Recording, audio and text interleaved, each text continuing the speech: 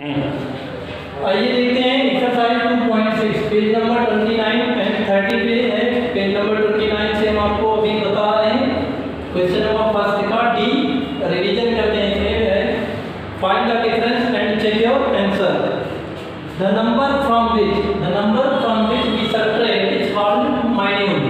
this number is called minuend ये क्या है minuend number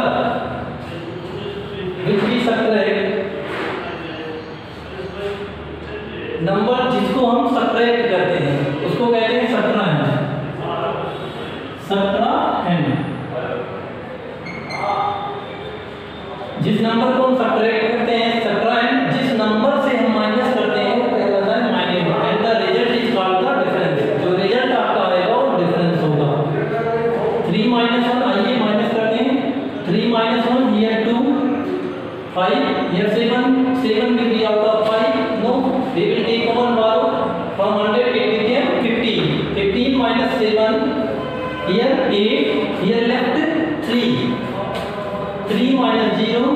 here three here four four minus three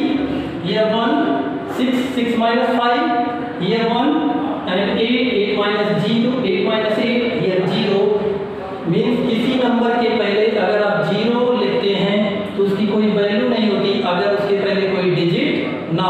जहाँ पे आप जीरो लिखें या ना लिखें कोई फर्क नहीं पड़ता तो कह रहा check the answer the number from which we subtract is called sub minus जिस नंबर से हम माइनस करते हैं उसको कहते हैं minus and the number which we subtract is called subtrahend और जिसको सब्ट्रैक्ट करते हैं वो subtrahend and the result is called the difference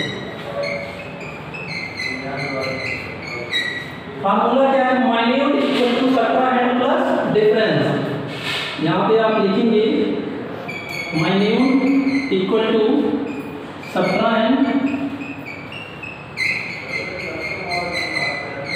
plus difference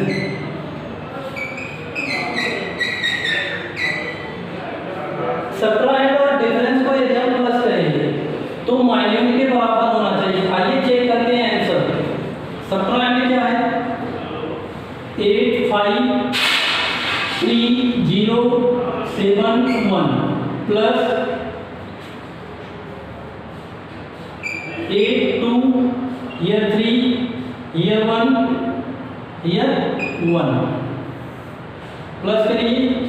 two plus one three seven plus eight fifteen here five carry one three plus zero zero and one four three one five one six here eight eight six double four five three यानी आपका ए answer और ए minuend minuend के बराबर आपको आ गया तो आपका आंसर सही है तो इसी तरीके से यहाँ पे क्वेश्चन है पेज नंबर थर्टी पे दिया हो गया है उसके बाद दूसरा है subtract